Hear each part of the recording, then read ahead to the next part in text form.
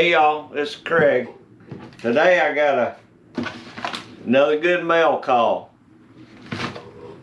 First thing I got is from my brother James G. James sent me two of his cool stickers. I was hoping I'd get some of these. I like both designs on James's stickers. James is a great guy. He's got an awesome channel.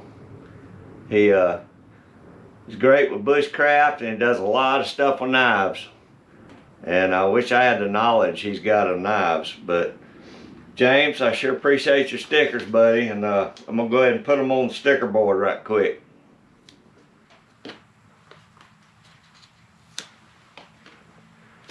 Alright, I'm going to put your first one right here under Mad Dog. Survival and next to Tubby Out Guy, Tubby Guy Outdoors.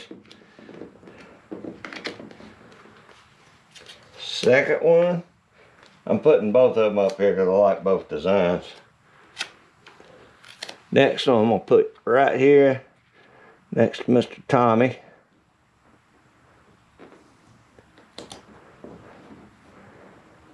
There we go, James. I sure appreciate it. You on the board, buddy. All right, y'all. The next one I got didn't have a return address once again.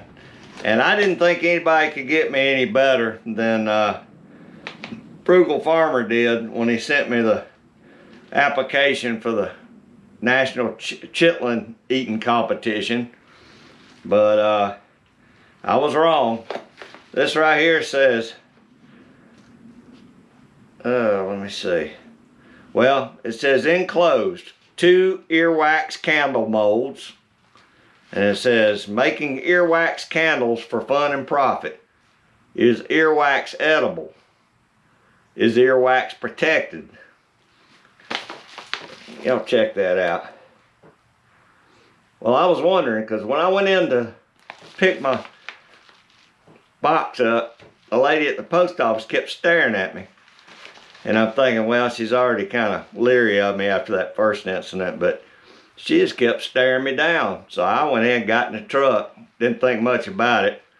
And then when I got out of the truck and I read this, I realized, I think she was looking at my ears.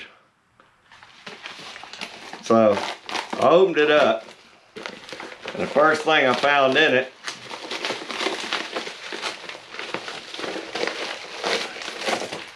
was two big old blocks of wax. And my first thought is, I sure hope this ain't earwax. But it turned out it's not. The next thing I pulled out was the package. And then I saw it. It's a keychain from Frugal Farmer. Charles, you got me again, buddy. So, uh, and uh, let me see, open the letter here.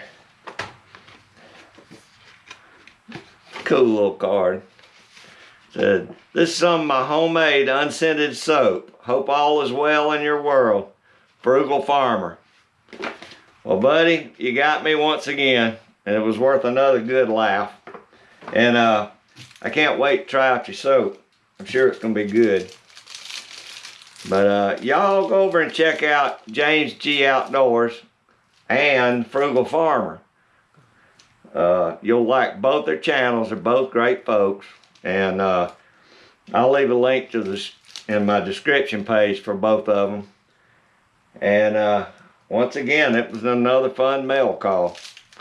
But I appreciate y'all watching. Uh, I hate that the shed looks like this, but it's supposed to about to be raining outside, and I've tore the walls out in here. I'll show you, I'll let you look around. Hang on. All right, I don't know if you remember on my older videos, but this used to be just, it used to stop right here on this wall. And this was like a little eight foot room here, nine foot maybe. I knocked the wall out and it goes all the way over here now. So I got about a I guess a 12 by 16 or 12 by 18 something like that but it's gonna it's it's a mess right now but I got a a lot more room in here now And I think I'll be able to do a whole lot more stuff once uh once trapping season gets here. But uh y'all go over and check out Stoney's Outdoor Adventures too, because we went on a fatwood hunt uh day before yesterday and uh we picked up some good fatwood and he filmed it all. So I'll leave a link in for Stoney's channel in the description too. But I appreciate y'all hanging out and coming along. And uh, I'll see y'all on the next one.